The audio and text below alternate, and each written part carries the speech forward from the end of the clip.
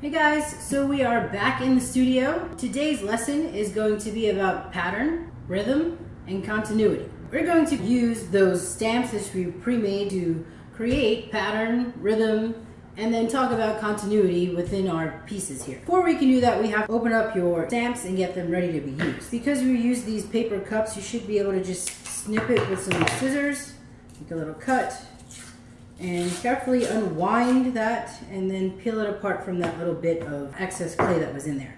Now before you can use it, this stamp's probably going to have a little bit of rough edges on it, so you want to take your fettling knife and clean up just using the edge of it around the ends. Trying to get away any of that little rugged rough parts. In addition to that rugged edge, you probably want to go ahead and clean up the underside because that will be sharp too.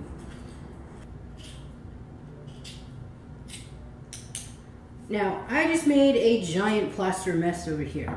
You want to be sure that you fully clean this up and get any bits of plaster out of the way from where you're going to be working with the fresh slabs. That's why I had my slabs wrapped up over here on the side.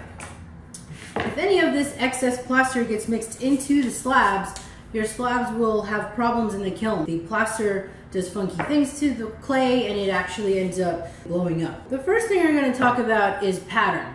Pattern is repetition of some kind of little design element that is placed over and over and over again until it covers the entire surface of the piece. I would like for you to use the stamp that you made or stamps to press into your piece and create some kind of pattern. Very simply, just go in when I'm doing this, I want to make sure that I'm covering just about every bare spot all over this sample tile. Making sure you have a good thought out overall design and everything looks even and kind of spaced out properly, unlike this piece, it's not spaced out all that great. That's called continuity. The continuity is the piece itself in, in its entirety and whether or not you have any uh, interruptions or anything that maybe look pleasing to the eye, maybe bare spots in the pattern or the design overall, that's continuity. Continuity is when we're talking about, you know, the totality of the piece. The next thing we're going to talk about is rhythm. Rhythm is a flow in the design. It does, does the design express some kind of movement, some kind of flow within the pattern itself? I'm going to take my stamp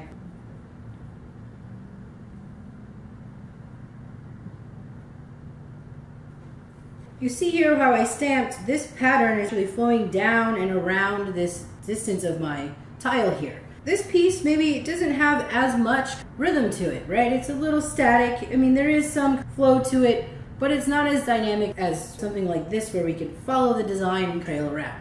Again, now we go back to talking about continuity. Does this piece on a whole have continuity? Do you think that it, it's missing some bare spots? Does the design not work out well? And or does this piece have better continuity? Is the placement of this design a little bit better? Does it feel like it's lacking anything? Those are the two different terms that I would like you to address, pattern and rhythm. And then also keep in mind the idea of continuity in your tile pieces. Do they have continuity on a whole? That's the end of today's lesson.